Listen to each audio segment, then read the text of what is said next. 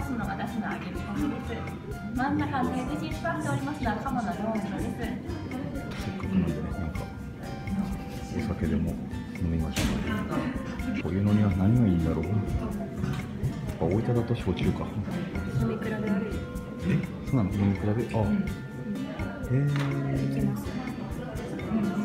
うんあ麦と芋で飲み比べができるんだ麦かな麦の飲み比べにしよう。かなあなた日本酒の飲み比べ。にするうん。こちらメニュー表の上から順に吹きの高木や八鹿でございますこちらは大分の飲み比べ麦三昧でございます。久保守屋三縄でございます。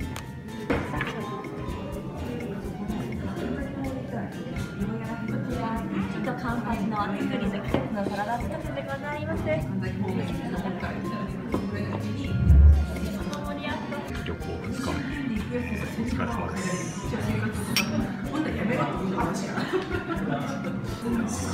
ごいまろやかな、そんなきつくないですねう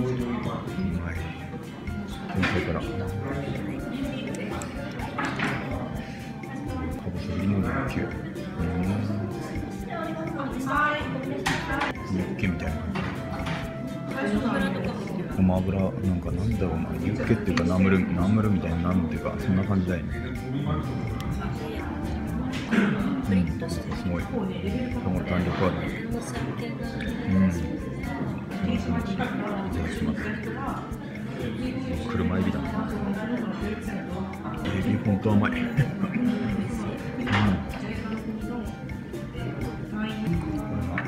醤油。地元の老舗の有名なお醤油さ醤油屋さんです。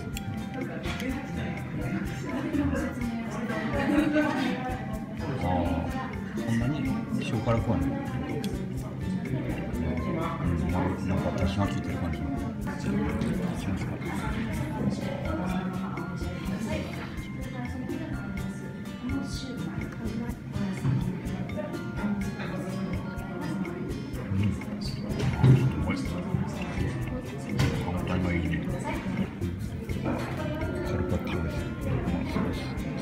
つけて、ドレッシングつけて。お願いいたしますうん。ニンニクが効いたのか。美味しいですね。うん。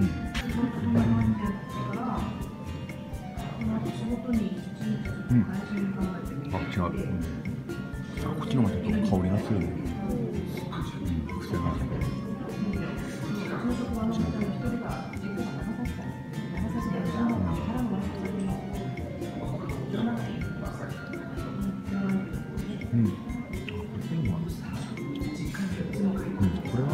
甘みを感じるんだけど、ちょっとアルコールがきてる感じるね。一番飲みやすいのがこれかな。うん、これが一番飲みやすいかも。それさサザエです。溶けないね溶けてるああ、そうね。つまりうん。うん、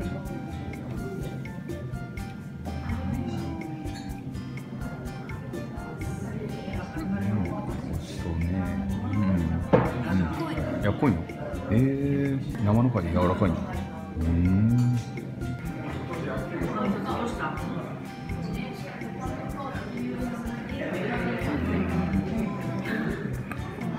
右からかぼすのポン酢真ん中柚子味噌一番左が天然塩がなってございますこの器ごと地獄の分切りにしてございますこの小鉢に入っておりますのがアサリの酒蒸しでそのままお召し上がりくださいそれからその左にありますのがハモシューマイ。お野菜の肉巻きはポン酢がおすすめでございます。あと県産の旬のお野菜をそのまま蒸してございますのでどうぞ3種類でお味見させてください。何で？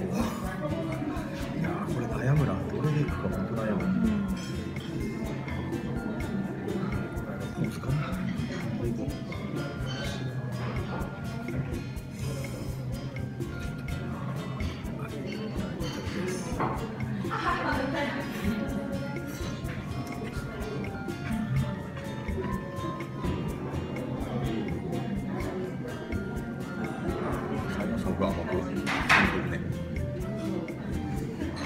モシューマどんな感じなんだろうハって食べたことない。よ、うん、思い出す全然見ることないから。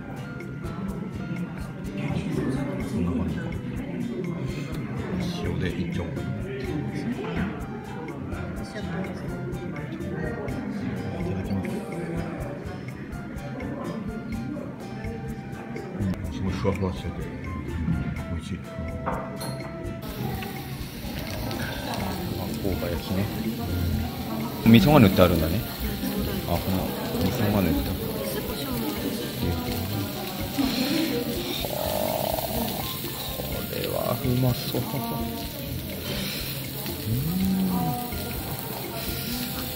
あ、いただきます。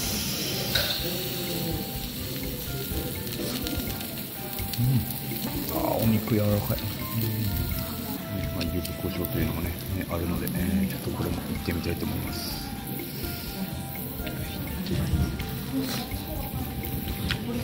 ああ合うね。うん、うん、ぶりぶりの釜の塩焼き塩ん？塩揚げ。あうまそう。なんか甘みを感じるね、デザートのパンナコッタ、うん、あーこのコースが終わっちゃう名残惜しいけど。はいいただきます。うん。いや本当に。全部うまいわ本当に。どの料理も本当に美味しいです